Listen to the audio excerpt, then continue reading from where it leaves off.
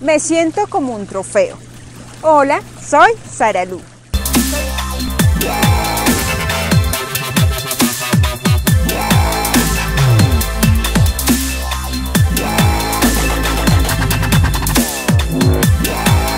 Soy una mujer de 30 años, mi vida transcurre de fiesta en fiesta, de evento en evento, salgo con hombres que tienen dinero, me gusta que me cumplan mis caprichos, que me lleven a buenos hoteles, a buenos restaurantes, regalos caros, pero al final de todo me siento inconforme, algo me falta, no soy feliz.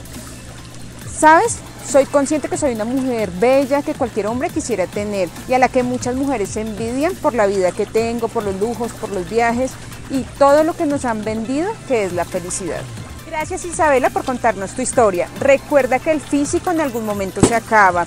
Toda la vida no vas a ser joven, no puedes vivir de apariencias, que tu vida sea una fachada. ¿Para qué? Las mujeres hemos ganado un papel fundamental en la sociedad, donde nos hemos liberado tanto legalmente como emocional.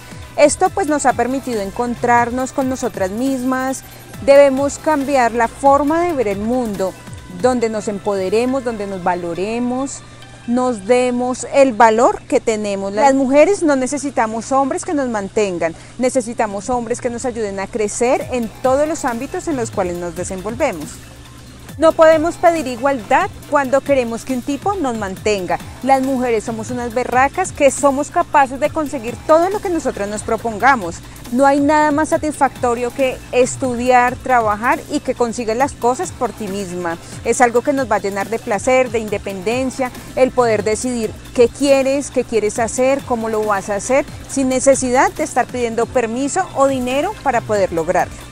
Chicas, es importante que tengamos confianza en nosotras mismas, debemos ser libres, fortalecer nuestra parte emocional, nuestra parte mental, ser capaz de decidir qué hacer de nuestras vidas, qué comer, qué estudiar, cómo direccionar nuestro futuro sin la influencia de otras personas, ser responsable de nuestras propias acciones, conocernos, ser libres para pensar y para actuar.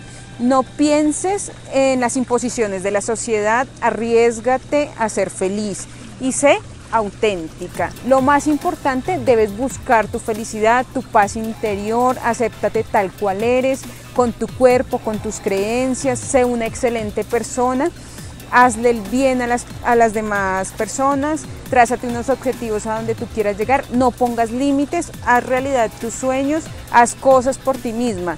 Y recuerda, si quieres saber todo lo que ocultamos las mujeres, suscríbete a mi canal y YouTube te notificará cada vez que suba contenido. Confesiones de Mujeres Anónimas.